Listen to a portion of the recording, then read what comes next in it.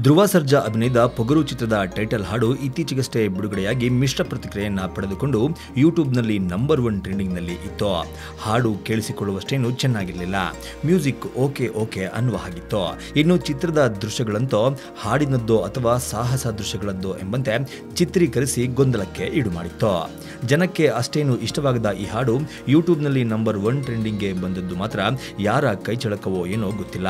Number one ಟ್ರೆಂಡಿಂಗ್ನಲ್ಲಿ ಮೆರಿತಾ ಇದ್ದ Pogaru title ಹಾಡನ್ನು ಸದ್ಯಕ್ಕೆ ಯಾರು ನಂಬರ್ ಒನ್ ಟ್ರೆಂಡಿಂಗ್ನಿಂದ ಕೆಳಗೆ ಇಳಿಸಲು ಸಾಧ್ಯವಿಲ್ಲ ಅಂತ ಪೊಗರು ಚಿತ್ರಕ್ಕೆ ಇರುವ ಒಂದಷ್ಟು ಅಭಿಮಾನಿಗಳು ಮಾತನಾಡಿಕೊಳ್ತಾ ಇದ್ರು. ಆದರೆ ಈ ಹಾಡಿಗೆ ಮಾಸ್ಟರ್ ಸ್ಟ್ರೋಕ್ ಕೊಟ್ಟಿದ್ದು ರಾಬರ್ಟ್ ಚಿತ್ರದ ಟ್ರೇಲರ್. ಡಿ ಬಾಸ್ ಅಭಿನಯದ ರಾಬರ್ಟ್ ಚಿತ್ರದ ಟ್ರೇಲರ್ ಬಿಡುಗಡೆಯಾಗಿ ಐದು ಗಂಟೆಗಳ ಒಳಗೆ ನಂಬರ್ ಒನ್ ಸ್ಥಾನಕ್ಕೆ ಏರಿ ಪೊಗರು ಟೈಟಲ್ ಟ್ರ್ಯಾಕ್ ಅನ್ನ ಕೆಳಗೆ ದಬ್ಬಿದೆ.